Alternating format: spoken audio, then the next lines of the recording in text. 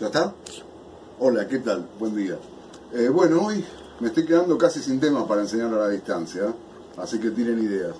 Lo que pensaba hacer hoy era mostrarles una característica que tiene la carpintería, que es la de fabricarse uno las propias herramientas.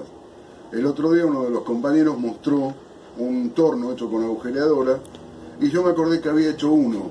Empezó inicialmente no como torno, sino como lijadora de tambor. ¿eh?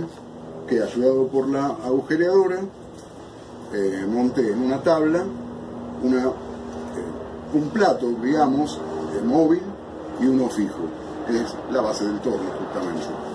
Con eso se puede hacer o darle formas a una madera, la forma justamente de este cilindro, o por ejemplo yo les quiero mostrar acá, no se hace esto sin máscara, pero bueno, no, sé dónde la tengo. Por ejemplo, despintar una pieza sin tener que ponerse una mano. Lo muestro un segundito y ya está.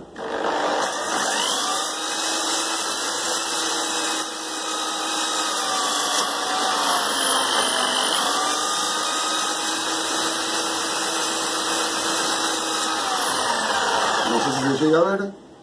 Ahí despinté una parte de la pieza. ¿Sí? Este, bueno, esto mismo, si yo saco este cilindro y pongo una pieza que quiero redondear, es lo mismo, pongo la pieza acá, uso esta punta para fijarla, vamos a probar.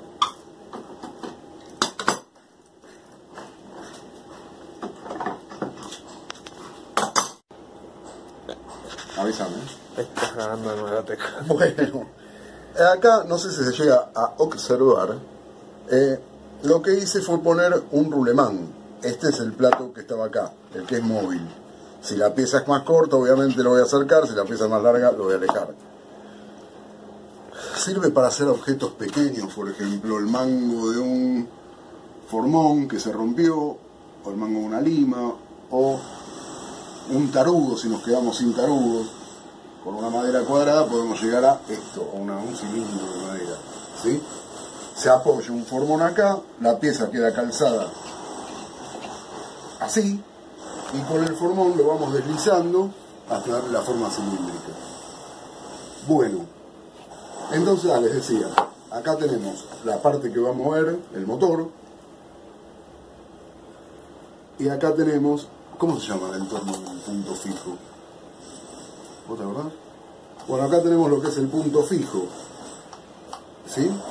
Que va la madera clavada acá, una punta que clava la otra madera acá, y cuando empiece a girar, con la ayuda de un formón vamos a ir eh, desbastando. Contrapunto, creo que Contrapunto, está. Bueno, acá me dicen contrapunto, dudo mucho, pero va. Bueno, ahí para un montón que el cambio acá. Bueno, empecé por...